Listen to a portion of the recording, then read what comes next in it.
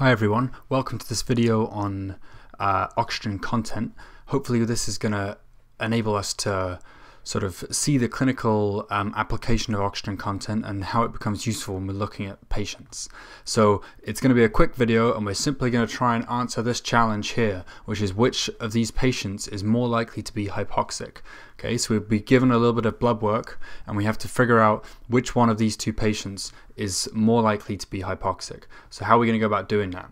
Well, the first way we could do it is we could look at let me just pick a color here. We could look at their oxygen saturation. That seems to be the most common way that people assess someone's oxygenation status is they say what's the sats what, what what are the patient's sats how are they how are they saturating so we could look at these patients sats and if we did that then we would see that the patient A's sats is 65% that's pretty low and patient B's sats is 100% and that's as good as it can get so based purely on their sats, we would say maybe that patient B is is uh, is more oxygenated and patient A is more likely to be hypoxic.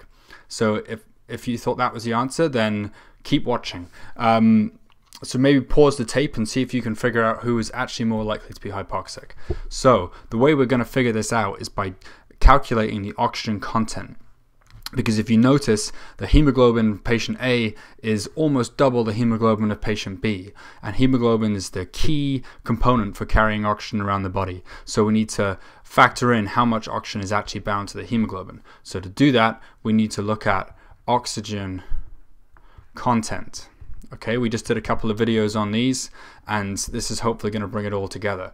So we said that the oxygen content CaO2 is equal to uh, the hemoglobin times by 1.34, which is the uh, oxygen capacity of hemoglobin, 1.34 mils of oxygen per gram of hemoglobin, times by the arterial oxygen sat, and then we're going to add the PaO2 times by a solubility constant.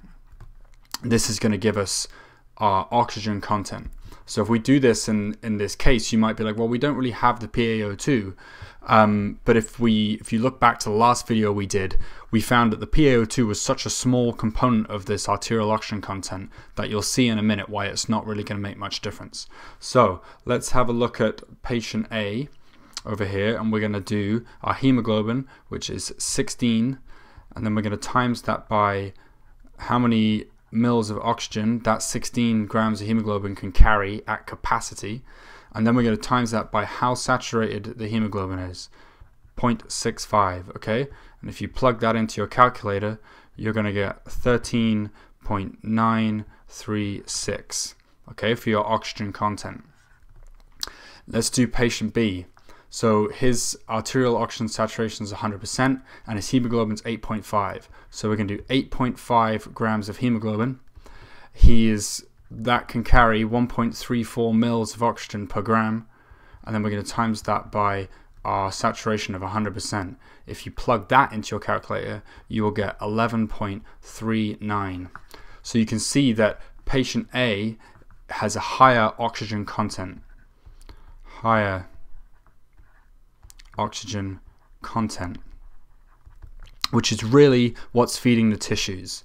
Okay, so later on we, we're going to get into some videos where we talk about DO2, delivery of oxygen to the tissues, and that's going to be dependent on our oxygen content. So th the SATs are important and they're a great way of assessing oxygenation status, but you have to factor in what the patient's hemoglobin is. If they're satting 100%, it's 100% of 8.5 of hemoglobin, whereas in this case, 65% of 16 grams of hemoglobin is actually a much is a higher bind, uh, oxygen carrying capacity. So this patient is less likely to be hypoxic, and the answer is that B. This patient is more likely to be hypoxic. More likely to be hypoxic, assuming that all other conditions are the same between the two patients. So this is just a quick video to hopefully help you work your way through oxygen content and and maybe just bear in mind the limitations of oxygen saturations when we're assessing those on blood gases. Okay. Um, again, we didn't use the PaO2 in this video. if you want to, you can calculate um, you can calculate a PaO2, put a, a, normal value in, or put a couple of values in on each side and see whether it makes a difference. I can almost guarantee you that a, the PaO2 for either of these cases wouldn't make enough of a difference to make this higher than this. So um, hopefully you found that useful, and um, maybe we'll get on to delivery of oxygen, DO2, in the future.